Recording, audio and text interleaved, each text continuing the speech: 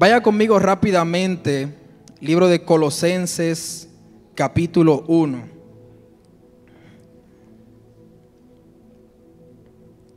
Colosenses capítulo 1, versículo 15.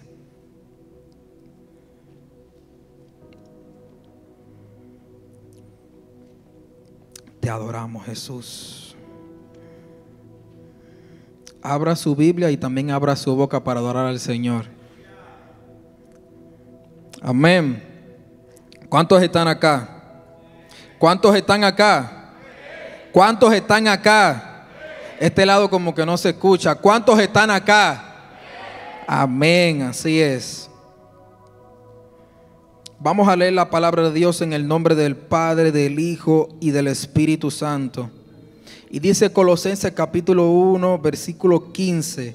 Dice, Él es la imagen del Dios invisible, el primogénito de toda creación. Dele un fuerte aplauso al nombre del Señor. Y diga, Espíritu Santo, mientras usted vaya tomando su asiento, diga, Espíritu Santo, háblame. Espíritu Santo, quiero abrirte mi corazón para yo poder seguir recibiendo más de ti. Tome un minuto y, y ore y dígale al Señor, Señor, por favor, ministrame, por favor, enséñame de tu palabra, por favor, guíame, guíame, guíame, dame más de tu entendimiento, dame más de tu palabra, dame más de tu, de, de tu sabiduría, dame más de todo lo que sea tuyo. Dile al Señor, dile al Señor, dile, dile, dile, ora, ora, ora, ora, ora. Pero que se escuche su voz, que se escuche su voz. Diga al Espíritu Santo, por favor, háblame. Espíritu Santo, por favor, guíame. Espíritu Santo, por favor, enséñame. Te damos gracias, Jesús. Te damos gracias, Dios eterno.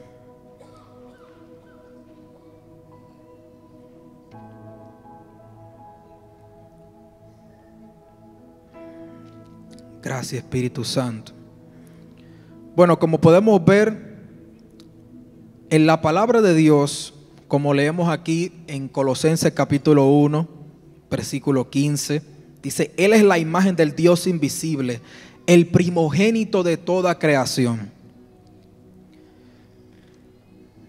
Todo, como dice aquí bien explicado, Él es el primogénito de todas las cosas que fueron creadas. Ahora, todas las cosas tuvieron un orden, pero Jesús fue el primogénito de todas esas cosas. Ahora, yo creo que usted puede hacer que sabe cuál es la diferencia entre una palabra y un mensaje. Una palabra puede ser, eh, no es una oración o no es una, no es un, no es una una forma de tú decir muchas cosas, pero tú puedes decir una palabra. Por ejemplo, cuando tú dices hola, tú estás diciendo hola, pero el mensaje es una comunicación. Ahora, el mensaje y la palabra tienen una diferencia. Por ejemplo, nosotros podemos ver el mensaje, eh, digamos la palabra fe, tiene el mensaje de que es una creencia, es una convicción. ¿Cuántos están acá? Ahora, cuando usted y yo entendemos esta diferencia, vamos a entender muchísimas cosas en las cuales la Biblia nos da a nosotros entender. Ahora, nosotros buscando a través de la Biblia y buscando todas las cosas que nosotros podemos ver eh, leyendo la palabra de Dios, nosotros la vamos leyendo y vamos entendiendo, buscando sabiduría, nosotros buscando entendimiento en la palabra de Dios y buscando, y si usted se fija, todo puede tener la imagen de una palabra, pero tiene un mensaje. Jesucristo es la palabra de Dios, pero el mensaje de Jesucristo es salvación. ¿Sí entiende?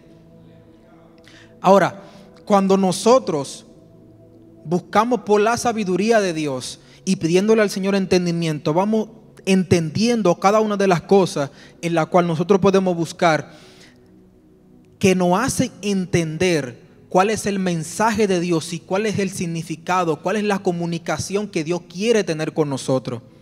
Ahora, todos todo, por ejemplo, todos los personajes se puede, todos los personajes de la Biblia se pueden conocer, tienen su nombre cada uno, todos pueden ser conocidos, pero todos de ellos tienen un mensaje. Por ejemplo, cuando se habla de Abraham, todos saben, todos sabemos que la palabra Abraham ya ustedes automáticamente piensa el padre de la fe. Ya cuando usted se le dice el profeta Elías, ya usted piensa el profeta que desciende fuego del cielo. Cuando se menciona Eliseo, el hombre que cargó la doble porción de Elías. Cuando se habla de Enoch, usted se sabe y entiende que cuando se habla de Enoch, también se, se habla el hombre que caminó con Dios, que, que meditó tanto en Dios que pudo adquirir una tras, se fue traspuesto ante Dios. ¿Sí me estoy dando a entender? Ahora, cuando se habla de que Jesús es el primogénito de toda creación, es porque Él fue el primero y Él fue el que estuvo gobernando sobre todas las cosas creadas. Diga conmigo, yo soy creado, pero Él me creó primero. Diga conmigo, yo soy creado. Soy una palabra. Dígalo, dígalo. Soy una palabra, pero tengo un mensaje.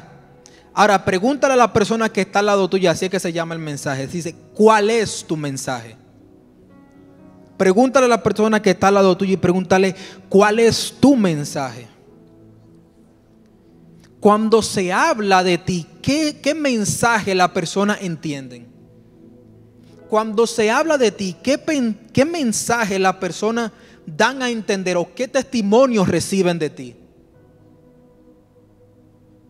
Específicamente, ¿qué tú piensas que las personas piensan cuando se menciona el nombre de, digamos, Pedro? Pedro se, conoce, oh, mira, el, primer pastor de la iglesia dio un mensaje y salvaron tres mil almas.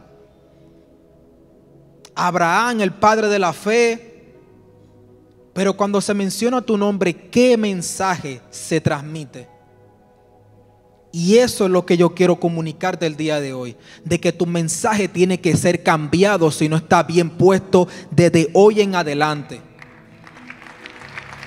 Tu mensaje tiene que ser diferente, tu actitud es porque tu mensaje eres tú, es tu esencia es para que tú fuiste creado. Jeremías le dijo a Dios, yo no puedo, yo soy niño y no tengo entendimiento. Y Dios le dijo, no digas que eres niño ni que tienes entendimiento, porque yo fui que te di por profeta a las naciones. Yo fui quien te santifiqué y te aparté para que profetizara. Porque tú te ves simplemente como una palabra, como un cualquiera, pero el mensaje que Dios depositó en ti es lo que hace la diferencia por la cual tú fuiste creado. Amén. Y yo estoy creyendo desde que de esta juventud se van a salir mensajeros que van también a proclamar una esencia diferente en todos los lugares en donde vayan. ¿Cuántos lo creen? ¿Cuántos lo creen? Jesucristo, Jesús, para todo Él tenía un mensaje parábolas tenía un mensaje, para cada milagro que él hacía tenía un mensaje, para cada liberación que hacía tenía un mensaje, todo era un mensaje. Por ejemplo, también cuando se habla, se dice la palabra Salomón, ya usted automáticamente piensa en sabiduría.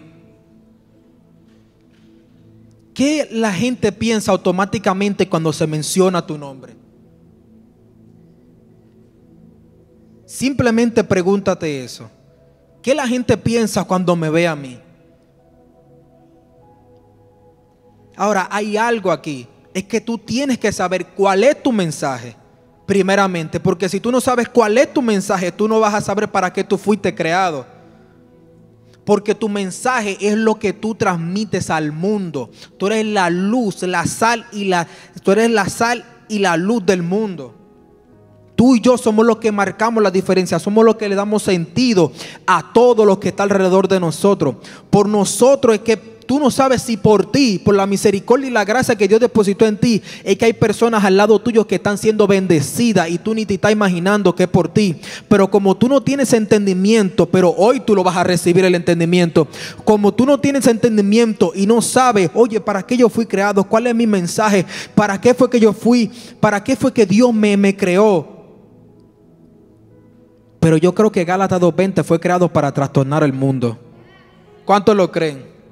Yo creo que Gálatas 2.20 fue creado para trastornar el mundo. Y yo no lo digo simplemente para que usted aplauda, yo lo digo para que usted se lo crea también.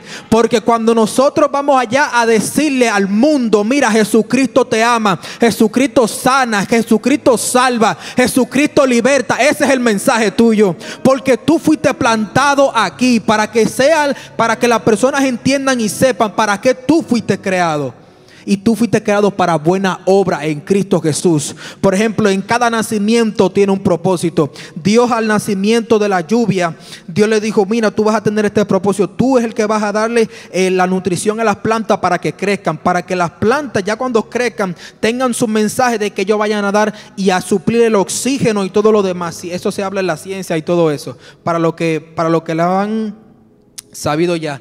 Todo tiene un nacimiento, todo, todo tiene un propósito. Cuando nació la sabiduría, la sabiduría, Dios le dijo, tú vas a tener este camino y este camino. Tú vas a ser el fundamento de esto, tú vas a ser el fundamento de lo otro. La sabiduría, ah, eso es uno de los temas que más me gusta y es la sabiduría. Cuando se habla de sabiduría me encanta mucho porque, y, recomiendo mucho el libro de Eclesiastés, siempre. Soy adicto a ese, a ese a ese libro de la Biblia y a Proverbios también. Me encanta porque con los Proverbios y, Eclesiastes tú aprendes a vivir. Tú aprendes a vivir como joven porque la misma Biblia dice que Proverbio es para enseñar sagacidad a los simples y para dar a los jóvenes inteligencia y entendimiento. Cuando nosotros recibimos entendimiento desde la juventud de quiénes somos, ya no simplemente nos vamos a tratar como cualquiera, sino que vamos a tener un camino, vamos a tener una visión y esa visión va a hacer que todos nosotros trastornemos a donde quiera que vayamos.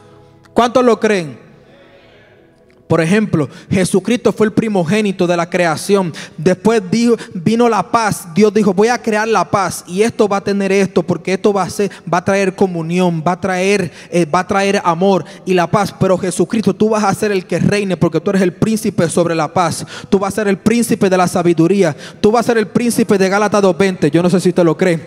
Yo, tú vas a ser el príncipe de todo esto y de esto. Tú vas a ser el primogénito de todo ello. Entonces, por cuanto a esto, tú vas a ser que todos ellos crezcan conforme a la voluntad tuya, porque Jesucristo vino a dar orden, Jesucristo vino a que tú y yo seamos fructíferos en Él, por Él y para Él, porque por Él fue que fuimos creados, por Él fue que fuimos santificados, por Él fue que fuimos nosotros apartados para la gloria de Dios y fuimos creados para buenas obras.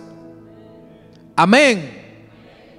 Tú y yo fuimos creados para buenas obras en Cristo Jesús.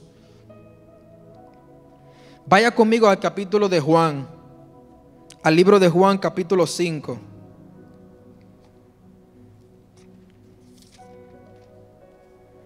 Juan capítulo 5.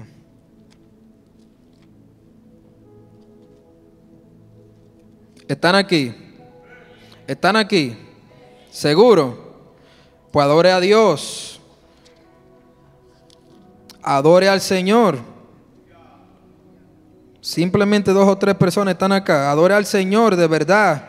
Como que usted lo ama, como que usted lo siente. Porque Dios tiene cosas grandes contigo hoy. Dios tiene cosas grandes contigo hoy. Y no simplemente va a ser, oh no, yo voy a ir a la casa de Dios porque simplemente tenemos un culto de jóvenes y bra, y bra, y bra, y bra, y bra. No, no, no, no, no. Desde hoy en adelante tú vas a entender de que tú tienes un propósito y una función, tú tienes una visión. Lo que se enfocan en una sola cosa, en Jesucristo y este crucificado, no le dan importancia a cualquier cosa más porque ellos tienen entendido de que hay algo dentro de ellos que no se compara a lo que ellos tienen. Amén.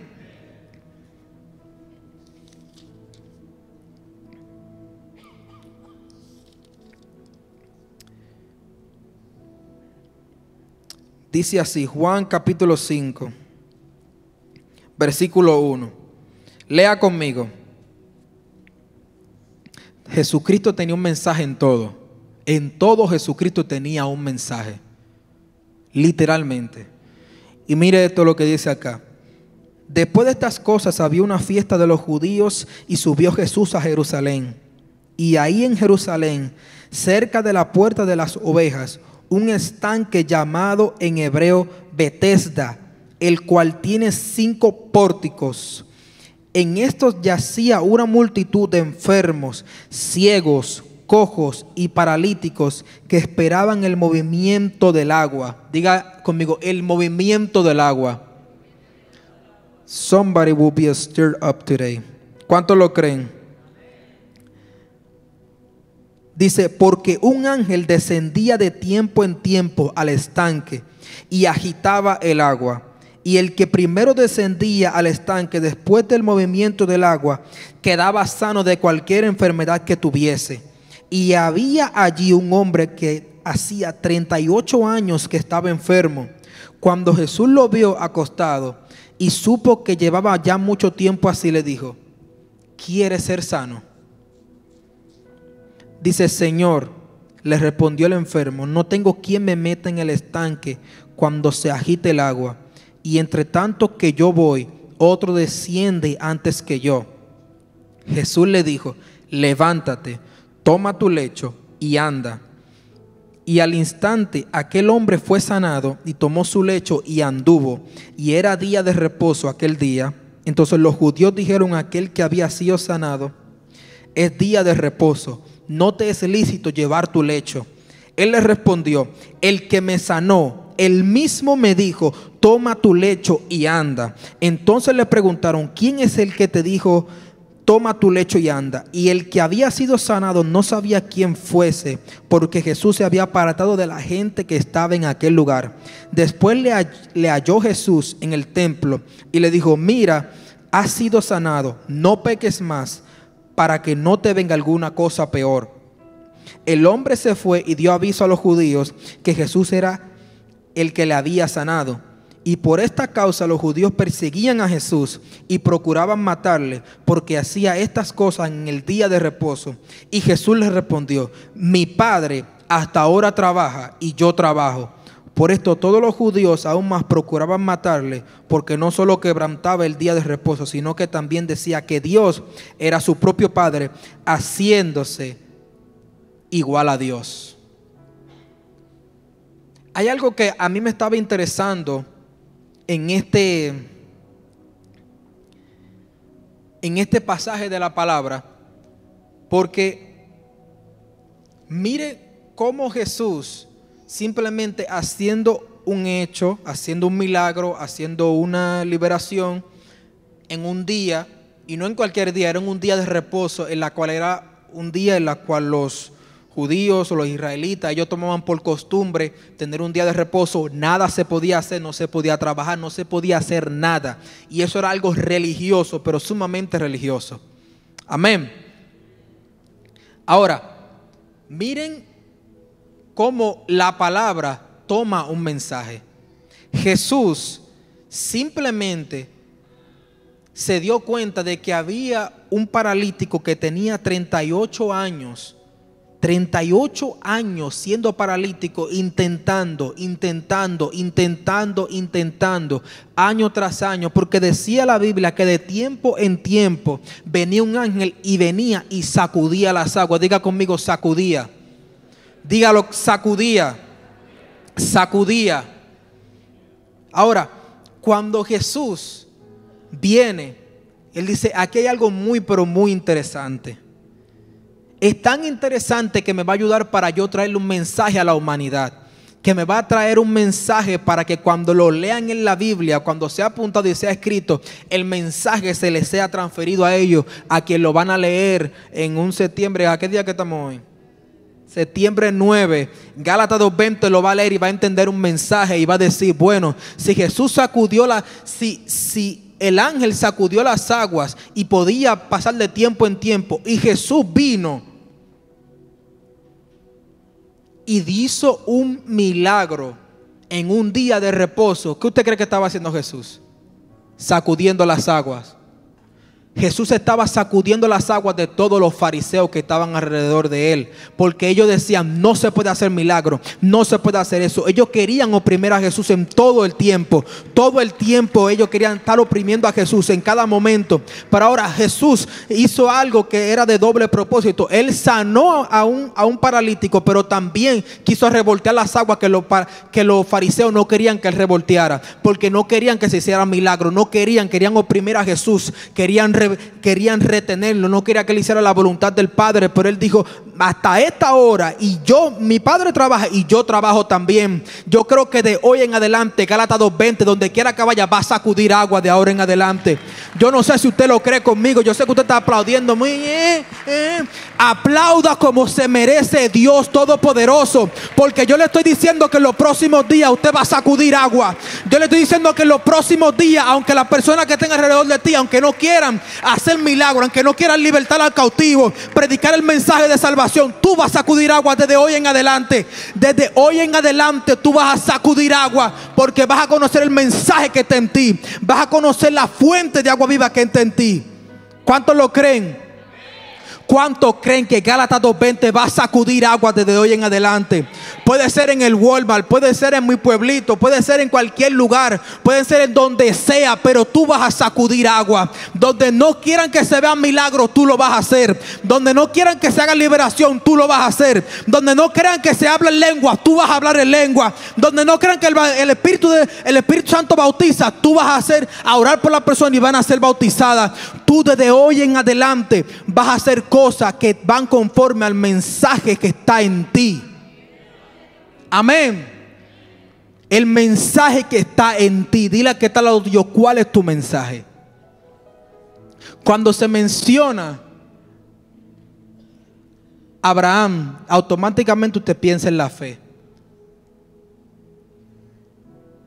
Nosotros estamos creyendo, estamos creyendo que desde que se mencione Gálatas 2.20, se diga, hay una juventud en Kansas, Dios mío, que está trastornando todo su alrededor, que está trastornando Wichita, está trastornando Topeka, está trastornando Garden City, está trastornando eh, Kansas City, Missouri, está trastornando todos los lugares donde quiera que vaya, porque es lo que se hace, es lo que se hace cuando tú tienes un mensaje. Un mensaje es una comunicación, no es para que esté eh, simplemente ahí mezquino, eso es algo mezquino. El que no predica la palabra de Dios es mezquino con los talentos que Dios le da, ¿sabe? Eso es egoísmo. Eso es egoísmo. Cuando nosotros entendemos el mensaje que cargamos dentro, nosotros estamos dando a entender que hay un alguien que escribe y nosotros somos una carta leída para el mundo. Somos un mensaje que dice, Cristo vive en mí. Gálatas 2.20 dice, Cristo vive en mí. Y ese es el mensaje tuyo. Ese es el mensaje tuyo. Cristo vive en mí. Cristo vive en mí. Y si Cristo sacudió agua, ¿por qué yo no la puedo sacudir también?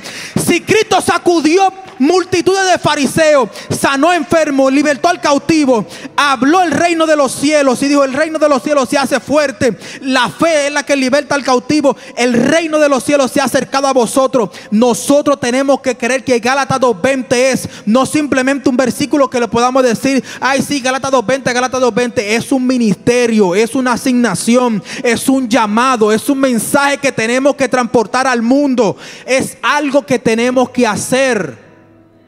Usted está como que apagado, yo no sé. Corazón es que el pastor se enoja a veces. Dios mío. El mensaje que cargo por dentro. Dile que está lo tuyo, el mensaje que cargo por dentro. El mensaje que cargo por dentro. Dios mío, ¿qué se dice cuando se habla de ti? ¿Qué se dice cuando, qué, se dice cuando se dice? Una danzora que cuando danza el Espíritu de Dios se revuelve. ¿Qué se dice cuando se dice pastor Andy? Oh, un pastor de jóvenes que está sacudiendo jóvenes y que le dice a los jóvenes, mira, te toca predicar y te lo dice el, el miércoles y ya el viernes tú tienes que estar listo porque imagínate, no hay otra cosa. Entonces cuando se menciona un Juan Carlos Harrigan, ¿qué tú piensas? Espíritu Santo, oración, siete horas, eh, eh, los demonios son libres, eh, todas las personas. Entonces cuando se piensa en ese tipo de personas, tú tienes que pensar qué se dice cuando se habla de ti, cuál es tu mensaje, qué es lo que tú portas por dentro. Tú tienes que portar a Cristo por dentro, porque eso es lo que tú tienes. Si dice Gálatas 2.20, ahora vive Cristo en mí, más no vivo yo. Y si Cristo sacudió agua, yo también voy a sacudir agua. Porque Jesucristo le quiso dejar a él saber, no simplemente es un ángel que va y puede ser un ángel, puede ser, mira, Gabriel, puede ser ángel Miguel, puede ser quien sea. Pero si tú supieras quién te está diciendo si tú quieres ser sano, tú dirías, Dios mío, el que carga y sacude agua me está sacudiendo por dentro. Y eso automáticamente no simplemente hizo que ese paralítico simplemente fuera sano, sino que se convirtió en un predicador. Porque él dijo, él, el mismo Jesús, él me dijo, toma tu lecho y anda. Y mire, yo soy un milagro andante. Yo soy una agua sacudida andante. Yo soy alguien fue, que fue provocado porque Jesucristo vino y me visitó. ¿Sabe qué significa Bethesda? Casa de misericordia o casa de gracia.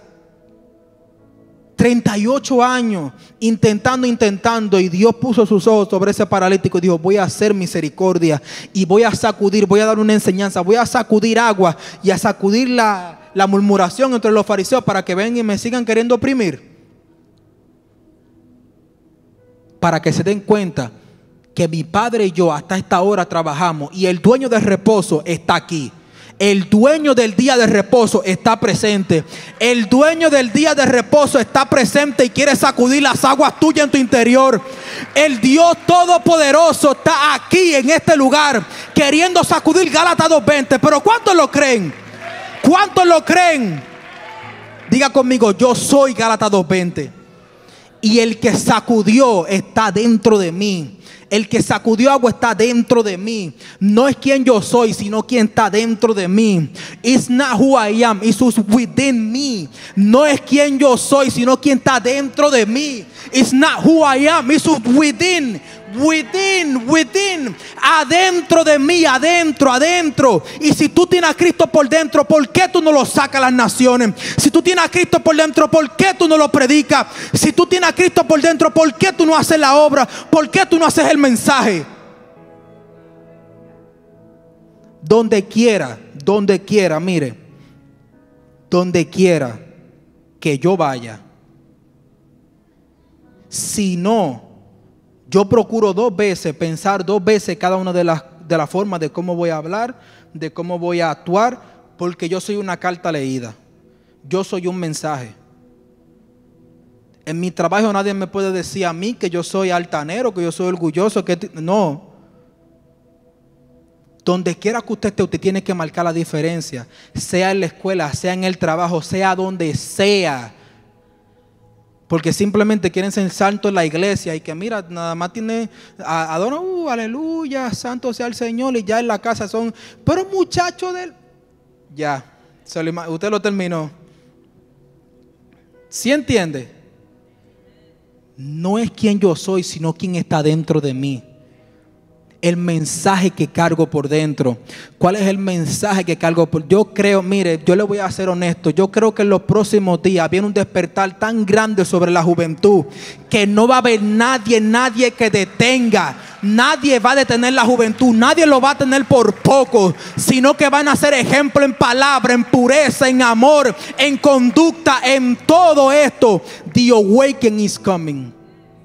El despertar está cerca. El despertar de la nación está cerca, ¿sabe? El despertar de las naciones sobre la juventud está cerca. Ya no van a ser simplemente jóvenes porque la, la persona piensan, siempre tienen a los jóvenes por poco, siempre. Cuando Pablo aconsejó, nadie tenga en poco tu juventud porque tú estás pastoreando una iglesia completa. Se la dijo a Timoteo, nadie tenga en poco tu juventud. Y la iglesia que pastoreaba a Timoteo, hermano, mire, era de toda clase. Si usted piensa que su hermano y su prójimo un diablo, para ese tiempo que se estaba iniciando, y para ese tiempo era cuando se estaba empezando a escribir, y era cuando Pablo le daba instrucciones a las iglesias. Nadie tenga en poco tu juventud, ponte los pantalones, predica como es, no te, no, no, no, no te no te... ¿Cómo es? Sí, eso mismo lo que él dijo, no lo escuché. Mis amados hermanos, el despertar está cerca. ¿Cuántos lo creen? ¿Cuántos creen que su mensaje va a ser expuesto a las naciones? Yo no te estoy diciendo esto simplemente para que sea un viernes más y ya tú seas animado y ya después tú te vayas a tu casa y después te deprimido y sigues lo mismo. Yo te estoy diciendo esto para que tú lo creas y para que tú lo sientas. The awakening is coming. El despertar de la nación está cerca. El despertar de la, de la, misericordia de Dios, de la gracia de Dios está cerca. El Cristo que fue crucificado en la cruz resucitó. Y ese que resucitó tiene que ser presentado, tiene que ser predicado, tiene que ser enseñado, tiene que ser dado a testimonio también. Porque no es simplemente que lo predique, que lo, que lo dé por testimonio, que lo dé por espíritu también, que la gente te vea a Cristo en la cara, que cuando vean, wow, Dios mío, pero qué sabiduría. La Biblia dice que la sabiduría hermosea el rostro, todo su cuerpo hermosea y resplandecea de luz por la causa de la sabiduría. Por causa de la sabiduría los reyes gobiernan, por causa de la sabiduría los gobernantes gobiernan, por causa de la sabiduría los cristianos son cristianos, por causa de la sabiduría no bestial, no humana, sino la sabiduría espiritual que recibimos por causa del Espíritu Santo. El Espíritu de Dios concede sabiduría. Y esta sabiduría no es sabiduría bestial, porque la sabiduría de este siglo simplemente te dice, no, tú tienes que saltar en una cámara, hacer par de muecas, conseguir mucho view y ya, te ganaste al mundo. No. Sabiduría de este siglo es que tú simplemente te pongas y sigas el camino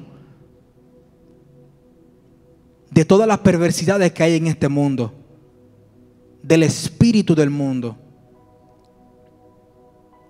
que estés bajo el sistema del anticristo, bajo el, sistema del Dios de este siglo, la sabiduría humana también, que tú dices, bueno, yo voy a mi hermano me ofendió, yo no le voy a pedir perdón. Esa es sabiduría humana.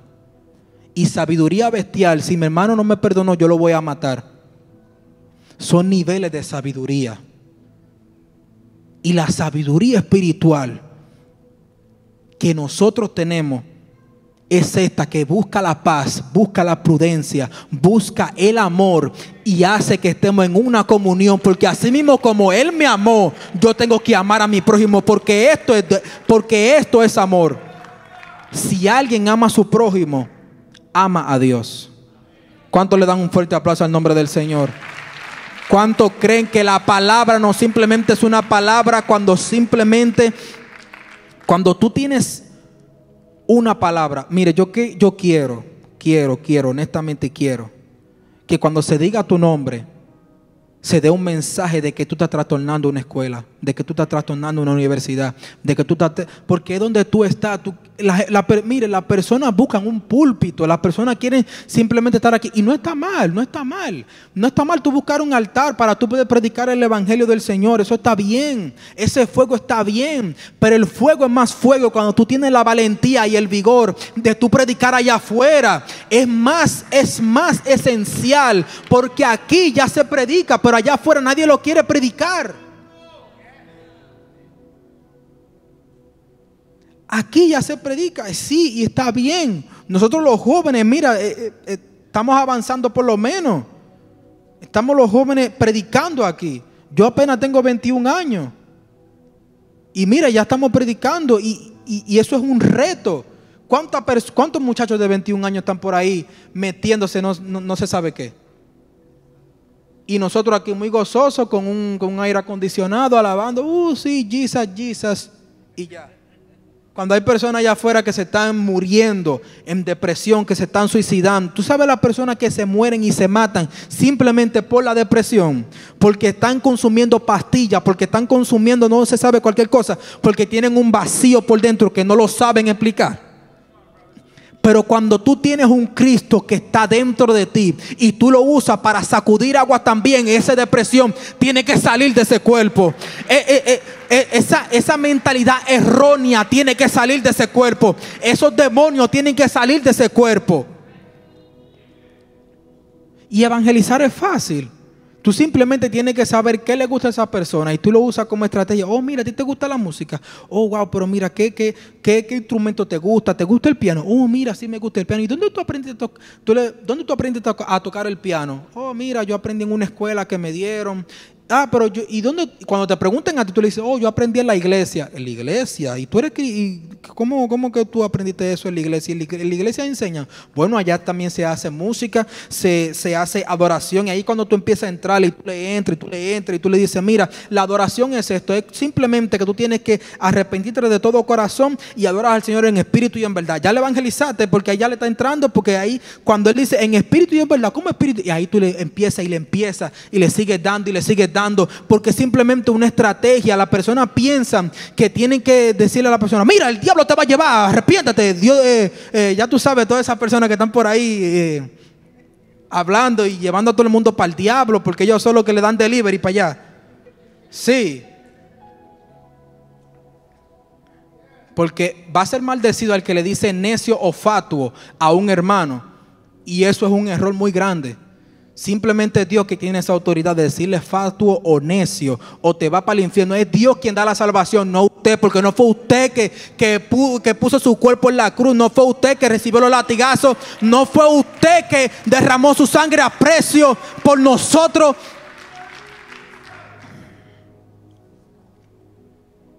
¿Cuántos creen que el despertar viene?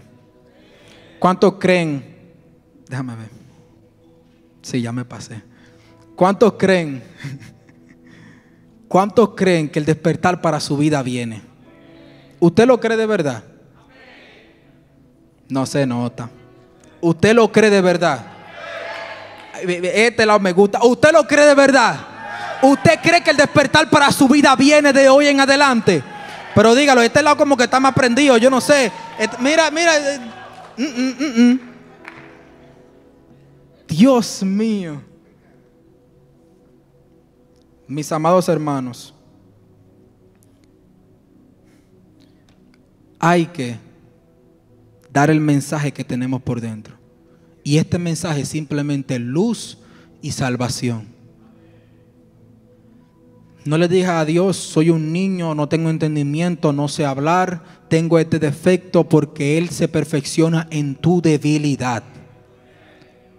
Dios hace cosas grandes. Si Dios pudo con un tartamudo Moisés y ese Moisés simplemente dividió el mar rojo, eh, dirigió millones de judíos que mire que esos eran piedra, más piedra de lo que son los miembros de hoy en día. Si Dios pudo utilizar a Moisés, te puede utilizar a ti también. Si Dios pudo hacer las señales que hizo en Moisés, lo puede hacer en ti también. Y a ti no tiene que ser tú tirando una vara y que se convierta en una serpiente. A ti puede ser, hey, espérate. A ti puede ser que tú simplemente digas, aleluya, Cristo viene. Ya, uh, Dios mío, eso como que ese de nuevo como que me está llamando. ¿Qué fue lo que tú dijiste, morenita? Mira, ¿qué, quién es que viene? Jesús viene, Cristo viene. Él salva, cambia, transforma, liberta. Jesús murió en la cruz del Calvario, pero también resucitó. Y ese Cristo que resucitó no simplemente quiere vivir en el cielo, quiere vivir en tu corazón. Desde el pesebre a mi corazón quiso venir porque se hizo carne. La palabra de Dios se hizo carne y esa carne tomó forma de hombre y esa forma de hombre desde lo invisible, desde el primogénito de la creación, quiso comunicarse con nosotros, con la tierra y con la humanidad para que simplemente tú y yo entendiéramos que quiere una comunión contigo y conmigo, que quiere un amor contigo y conmigo, quiere una relación contigo y conmigo. Y así es como tú tienes que dar tu mensaje desde hoy en adelante. Amén.